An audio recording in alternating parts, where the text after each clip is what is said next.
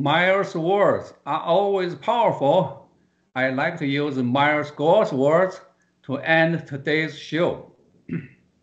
I hope to tell our American friends here, including our friends worldwide, the peace-loving people in Europe and Japan, you must believe what I say.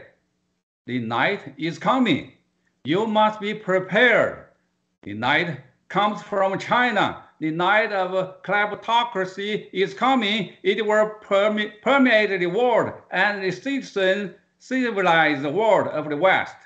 Each of us will not be safe. Everyone should be prepared. God bless America.